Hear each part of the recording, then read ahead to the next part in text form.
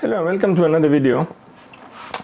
Today I want to show you this uh, cable. This is a Ronin S to a Sony camera with the infrared that you can control the shutter control of your camera using the record button of the DJI Ronin S. And this is a little hard cable, so it's like you shape it and it stay the same.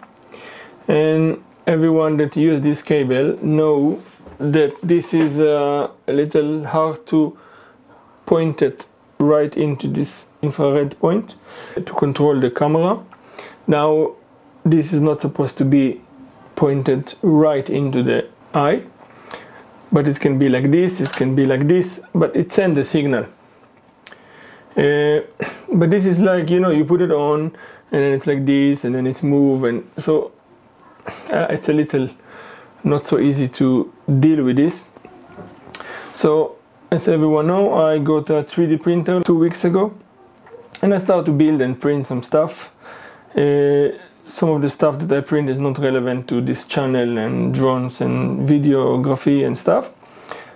But when it's do come to print something that have to do with photography and videography and drones and like I've done on the last video uh, about the cover for the battery lock for the DJI Phantom 4 uh, link on the description below about this video.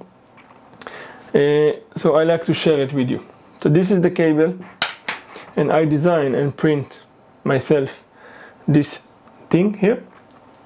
And this is basically you mount it on the Ronin S and you take this black lens right here.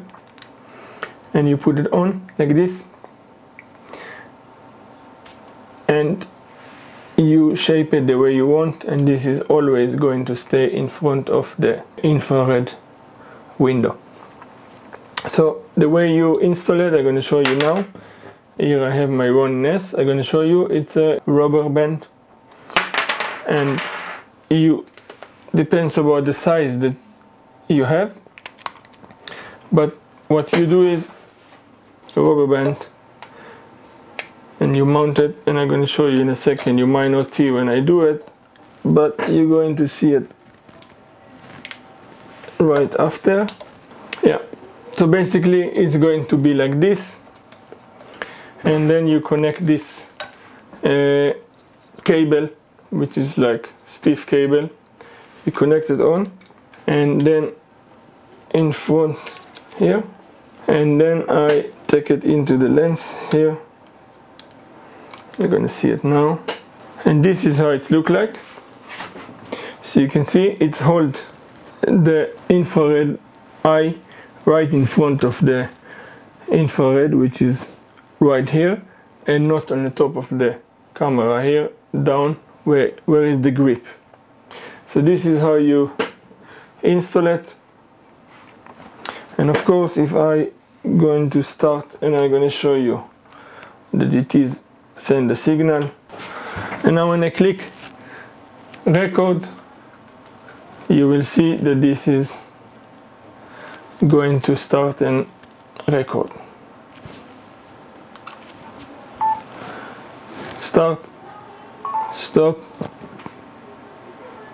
start again stop again and this is very very simple. Of course I printed in white because I don't have any more uh, black filament for the printer but you can print it any color you want. I will order black filament and I will print it in black which is more fits to the color of the camera and the Ronin S so as you can see here from the side this is how it look like I'm gonna share a link on the description below uh, the file that you can uh, download. And if you have a 3D printer you can print one for yourself. Very very nice. Instead of fixing it and when you move the camera it's like jumping all the time. Now it's gonna stay still. You just have to put a stronger uh, rubber band here. So it's hold it very sturdy you can maybe take it into your computer make it more stronger change it do what you want. I give you all the rights to do whatever you want with the file. Share it on a, a comment below if you want to. But I think this is like very very nice uh, things to print. That's it for today. I hope you like this video and this ID uh, as always stay creative and I will see you on my next video thank you very much for watching. Bye bye